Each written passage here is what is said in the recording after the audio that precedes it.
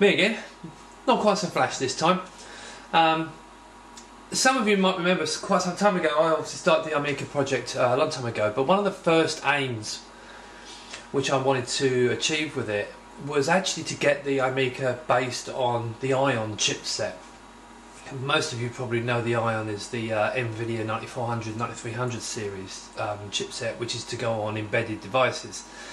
Um, but because I was trying to pair an ITX motherboard with the best system I can, I wanted to go Ion. The problem was at the time, um, well, we didn't have any 3D drivers, let's be blunt.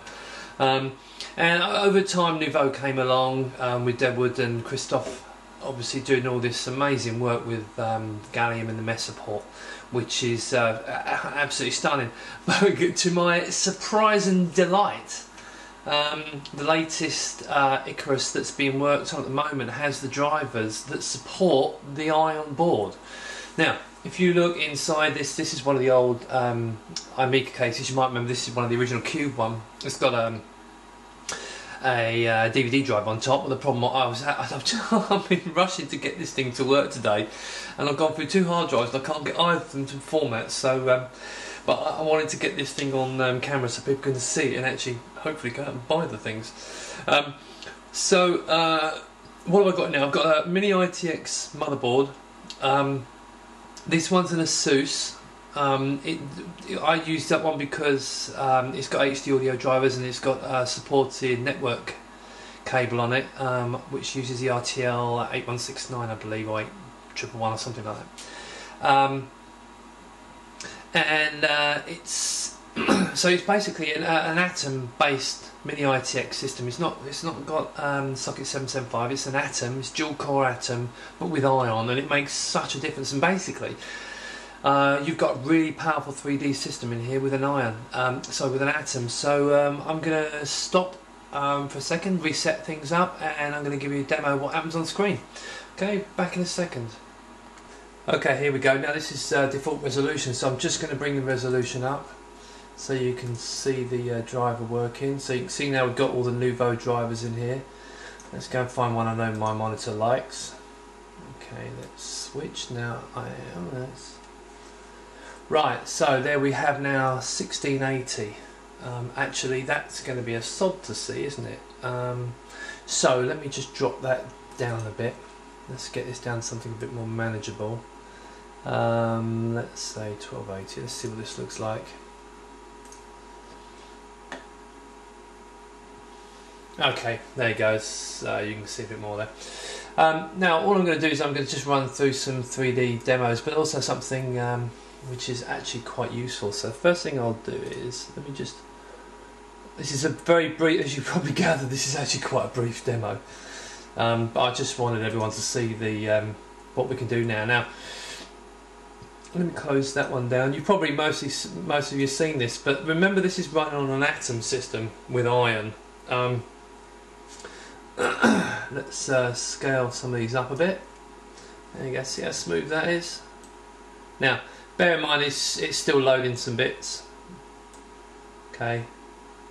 We've got we we have we seem to have a timer on this, but do you see how fast these are running? And how smooth. Now let's get rid of that one because that one is a, an absolute hog. That might take a while to disappear, that one. Let's just shrink these down. See that? Oh, here we go, teapot.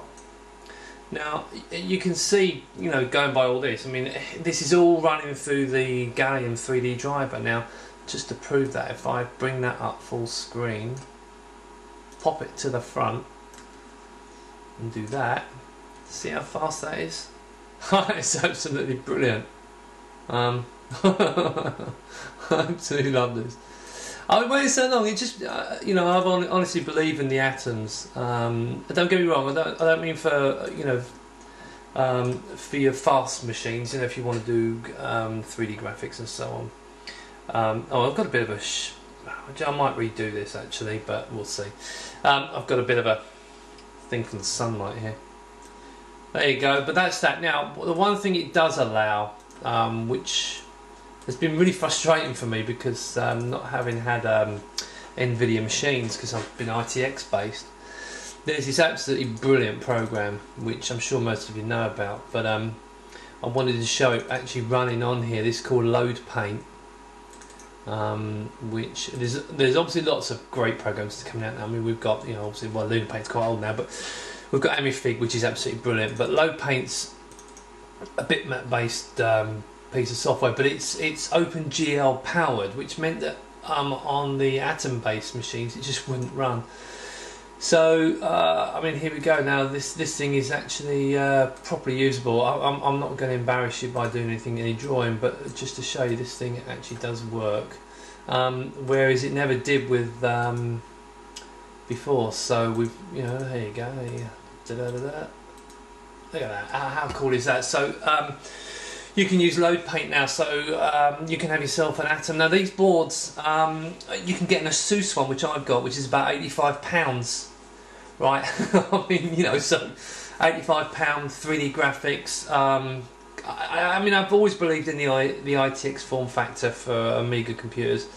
Um, I, I am going to be. Um, I'm working on a few little secret bits for AROS um, coming out in March. You're going to well, you won't hear about that, but I'm, there's going to be some more information coming out in the later videos. But um, March is a, like a D-Day, well, end of March uh, is like a ma massive project, lots happening. So by March, um, there's going to be some really good news. End of March, some really good news.